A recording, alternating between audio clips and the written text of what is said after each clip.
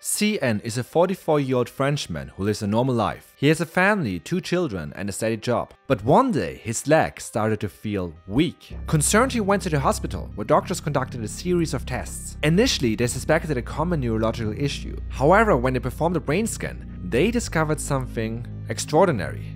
A large black void where much of his brain should have been. CN shouldn't be alive, yet here he was, standing before them. This is the story of the man who lived with almost no brain. Let's rewind, it's the year 1963. CN was just an infant when his family noticed that his head was growing unusually fast.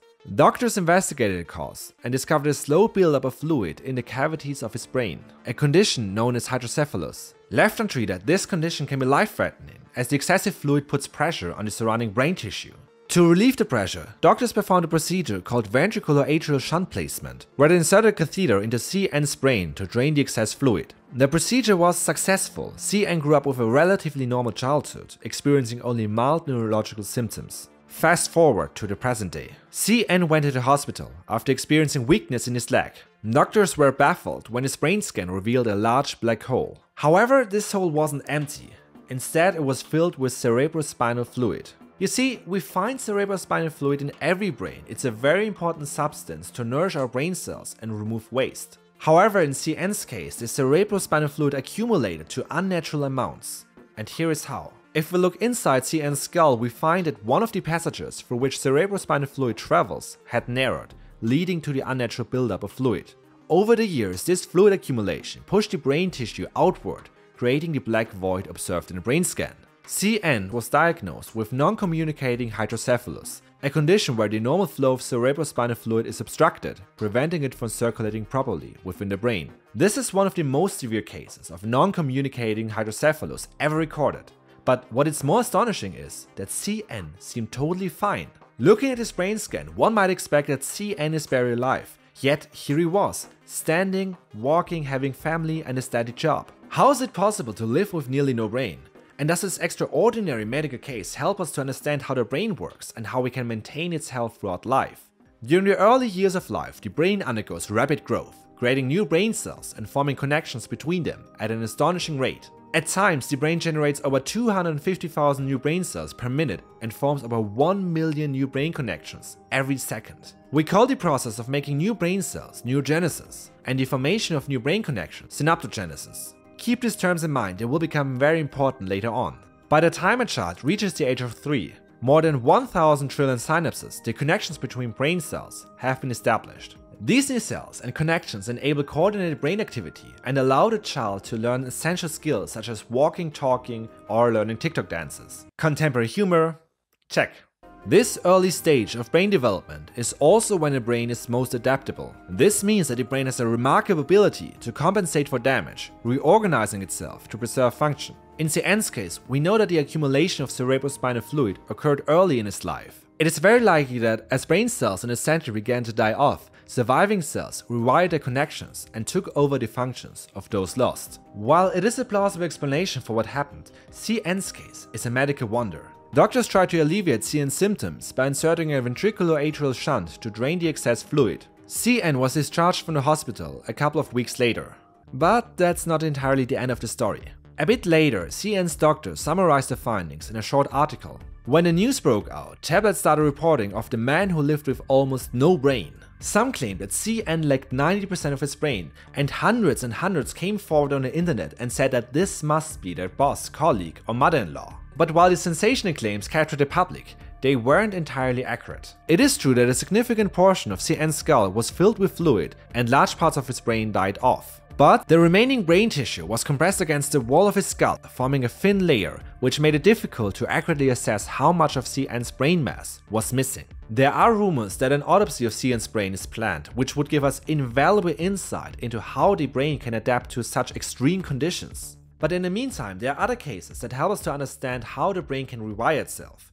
Take the case of DW.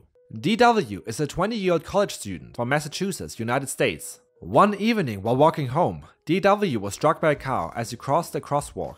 The impact was so severe that his head punched through the car's windshield. He was rushed to the hospital. Doctors immediately inserted a tube into his skull to relieve the pressure caused by the traumatic brain injury. But despite his efforts, his outlook remained grim. A brain scan revealed extensive brain damages, especially near the brainstem, the brain region that controls vital functions such as breathing, heart rate, blood pressure, and consciousness. Then DW fell into a coma. The doctors gave him a poor prognosis. One week later, DW unexpectedly opened his eyes. Two weeks after that, he was able to slightly move his hands. By the third week, he began scribbling on a sheet of paper, his first attempt of communicating since the accident. After spending a month in intensive care, followed by another month in rehabilitation and six months of intensive physical and speech therapy, DW made a remarkable recovery. In fact, he was nearly fully recovered. He eventually returned to college. When the doctors first saw DW's brain scan, they were understandably pessimistic about his outlook. So what exactly happened? As we've said before, in the first years of life, the brain undergoes rapid expansion. Neurogenesis and synaptogenesis help the brain grow and compensate for brain injury. However, DW was not an infant nor a small child when the accident occurred. So what happened? How could DW nearly make a full recovery? Let's first look at neurogenesis or making new brain cells in the adult brain. Once you reach adulthood, most parts of the brain do not grow new brain cells anymore. However, there are two exceptions. The dentate gyrus of the hippocampus and the olfactory bulb. The generation of new brain cells in the olfactory bulb helps us to optimize the processing of smell throughout life, which is probably not important in this case. But the hippocampus is especially important for learning and forming new memories, and it has been shown that the formation of new brain cells in the hippocampus is crucial for normal brain function. In theory, the generation of new brain cells in the hippocampus could have helped DW's recovery. But there is an issue. It is estimated that the hippocampus grows only 700 new cells every day, and that's not really much. Moreover, the brain scan revealed that regions across the brain have been damaged. If we only produce brain cells here, it doesn't really help if we got something destroyed there. So now we come to the second very important mechanism, synaptogenesis, or the formation of new brain connections. Our brain is heavily interconnected. In fact, a single brain cell can be directly connected with up to 10,000 other cells. When we make new experiences, our brain cells undergo several changes. Some brain cells may grow new dendrites or their axons. Both are structures found in a brain cell. In the beginning, the brain connections are often very weak, but they might respond to certain stimuli. This means that if we make the same experience again and again, the brain connections light up together, and this leads to stronger connections. Eventually, they will form the primary response to this new experience. Synaptogenesis occurs throughout life and helps us to learn new skills. This includes learning new instruments, languages, and movements, or how our brain adapts to certain brain injury. In DW's case, this process worked remarkably well. When he was in the hospital, he was visited day and night by family and friends, providing constant mental and emotional support. This cognitive engagement may have activated areas of his brain and encouraged healing and rewiring, ultimately aiding his recovery. What also might have helped DW is his education and curiosity. In general, people who constantly learn new things tend to recover better from brain injury, a phenomenon we call cognitive reserve. But of course, many other factors influence how the brain recovers from injury, including genetics or lifestyle factors. So while it is hard to say how individual brains will react to injury, there are some factors that impact brain recovery. And it also makes us wonder, if our brain constantly forms new connections, can we use that mechanism to keep our brains healthy and possibly prevent age-related diseases such as Alzheimer's disease? If there's one thing we need to do to keep our brains healthy, it is this. Well, use it.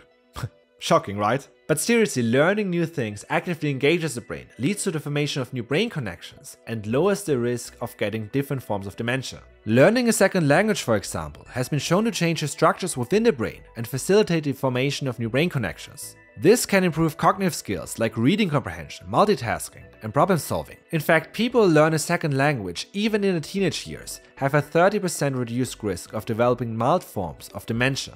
Other skills such as learning a musical instrument or engaging memory training show similar benefits. We've covered this in a previous video if you want to know more. Besides learning things, there are also other factors that impact our brain health. Take chronic stress for example. In 2015, scientists investigated how stress affects the brain. They invited 40 people who suffered from chronic stress and 40 who didn't. First, they interviewed the participants and assessed their perceived stress levels. Then they scanned the brains and found a significant thinning of the mesial frontal cortex in stressed people. The mesial frontal cortex is associated with regulating social behavior, decision making, and reward. Chronic stress is further associated with cognitive impairment and a higher risk of Alzheimer's disease later in life. In one study, data from over 1.36 million people from Sweden between 2012 and 2022 was collected. People who have been diagnosed with chronic stress or depression had a higher risk to develop mild cognitive disease or Alzheimer's disease over the years. In another study, patients diagnosed with early stage Alzheimer's disease were grouped into meditation and a control group. Over the next six months, the meditation group underwent a guided session of meditation each day for 30 minutes. At the beginning and the end of the study, the brains were scanned, and it was found that in the meditation group, many brain regions that are important for memory increased in volume. Don't get me wrong, stress can be a good thing. Acute stress can help us to adapt to threats. I mean, imagine prehistoric humans seeing a mammoth running towards them and not being scared. Or in today's world, imagine that you remember that you have to hand in the coursework tomorrow night. But chronic stress is different. When we experience stress, our brain releases a variety of hormones to help the body cope. Adrenaline increases heart, sweating, blood pressure, and breathing rates. Cortisol, on the other hand, helps the body to maintain steady supplies of blood sugar and increases digestion. Cortisol also travels to the brain, where it is absorbed by cells in the hippocampus, amygdala, and prefrontal cortex. As we age, the regulation of cortisol release and uptake can become less efficient. Chronic stress in particular leads to persistently elevated cortisol levels, which can damage the hippocampus, an area crucial for memory formation. High cortisol levels also trigger the release of cytokines by the immune system, promoting inflammation that can harm both the brain and the body. And with that, try to relax more often. And while you do that, also think about sports. Our aerobic sports is one of the best things we can do to keep our brains healthy. In one study, the physical activity of roughly 5000 participants in Iceland was assessed over 26 years. It was found that those who regularly engaged in physical activity had a better memory, executive function, and a lower risk to develop dementia. In a study on early Alzheimer's disease patients, participants were enrolled in a supervised exercise program for six months with the cognitive abilities assessed at the start, middle, and the end of the study. Compared to people who didn't exercise, those who regularly trained not only showed better performance in their daily activities, but also demonstrated slight improvements in memory and a small increase in hippocampus volume. We do not fully know how aerobic exercise reduces the risk of getting Alzheimer's disease, but it is believed that it's linked to an increased blood flow and brain metabolism. So is that it? If everybody just learns new things, avoids stress and exercises, then no one in the world will ever have any form of dementia, including Alzheimer's disease? Well, no, that's not how it works. There will always be some people who develop some form of dementia, but in a population, the frequency will be much lower. So yeah, you might have a relative who is 90 years old, never cared about education, is chronically stressed and heavily obese. But there are many 90 year olds who reach that age through a healthy lifestyle. And that's how statistics works. Our brain is truly a work of wonder. We have seen how it develops and how it rewires itself and recovers from injury. Every day, brain cells fire together, form new connections, strengthening some and weakening others. By staying active through regular exercise, managing stress and learning new skills, we can keep our brain sharp and lower the risk of developing age-related diseases. So what do you do to keep your brain fit? And what should I cover next? Let me know in the comments section, I'm really interested. And with that, I'll see ya. If you're interested in how a baseball injury made a genius, or how we can rewire brains to become smarter, you might like these videos.